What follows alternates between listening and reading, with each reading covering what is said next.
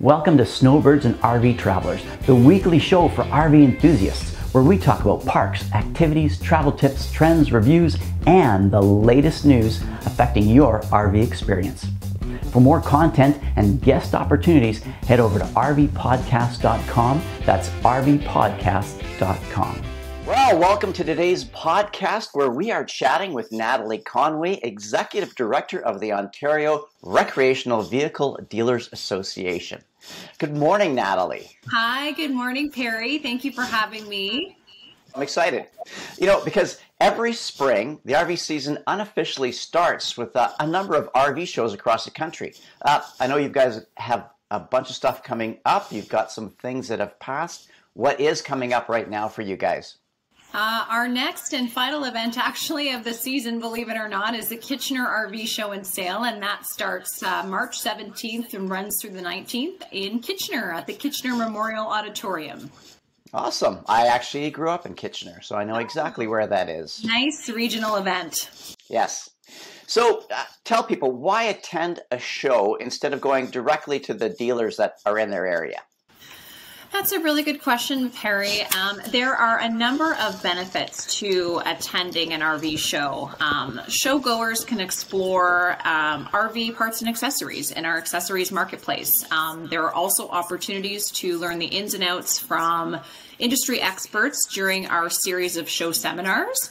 Um, those sessions feature everything from hitching and towing to RV insurance uh, and more. Uh, not to mention all of your favorite local RV dealers under one roof. So right. very convenient. Uh, so, how should they prepare to go to the show? Like, what should they do in advance before they get there? I, I know it can be overwhelming.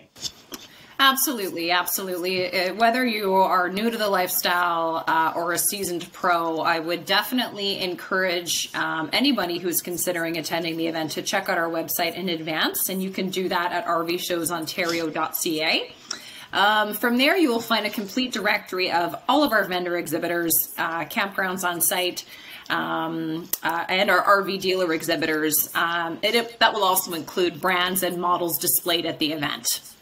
Right. Uh, should they be deciding ahead of time what style of RV they want, what their budget is? Um, absolutely. I mean, you know, I think that um, um, they, if if they went, obviously going in prepared is definitely helpful, but certainly there are so many opportunities to connect with on-site dealers that will.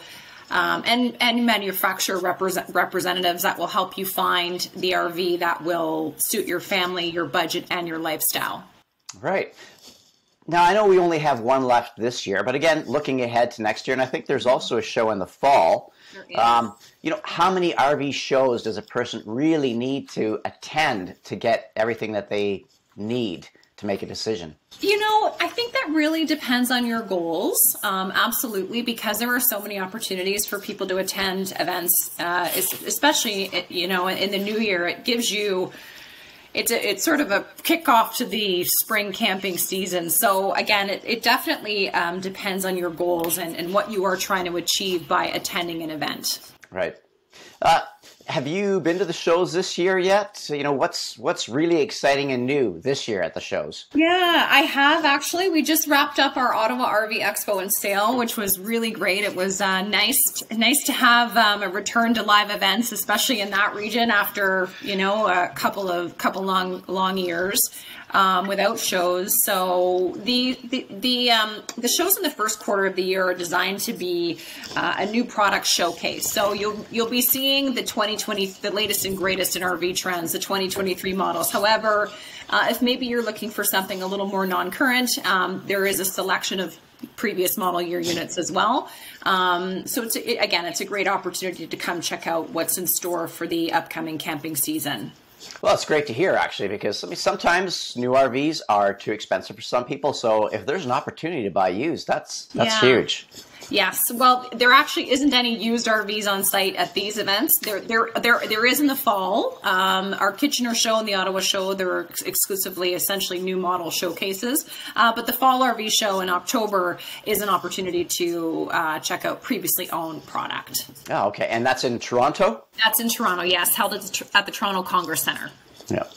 So, you know, can people big, uh, bring their kids, make it a family event? Can they bring a dog? Absolutely. So, service animals are definitely welcome. Kids are welcome to attend as well, and even better, children under 16 are free. Oh, that's good to hear. Um, and so you said free. How much are tickets? Tickets at the Kitchener Show are $8 all, all weekend long.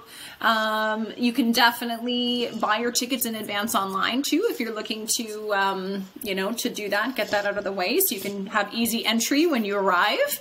Um, but yeah, so they're $8 all weekend long online and at the box office. Okay.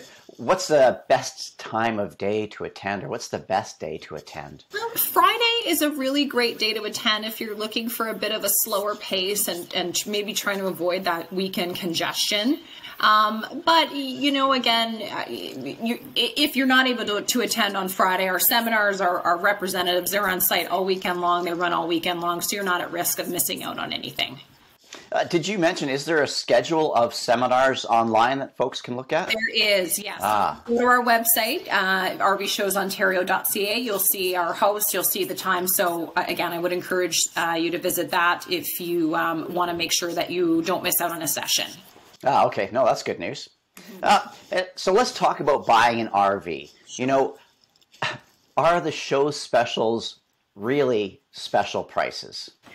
There are definitely incentives and exclusive show specials offered by participating dealers. Um, not to mention, if you purchase your RV at the show from a participating dealer, you have an opportunity to win five thousand dollars cash back towards your purchase yeah. price of an RV. Yeah, so it's a great uh, it's a great contest, and that is sponsored by the ORVDA. And I know it sounds a little bit rushed, but can a person like if I go in and I lay my money down, can I hook up that RV that day and drive away and go camping? No, typically what? not really. Yeah. In a perfect world, yes. I mean, there's a pretty quick there is a pretty quick turnover, and certainly if you are looking to hit the road ex- this spring, I would definitely recommend attending uh, a show and, and purchasing. Um, you know, spring is just around the corner, so this yeah. the better.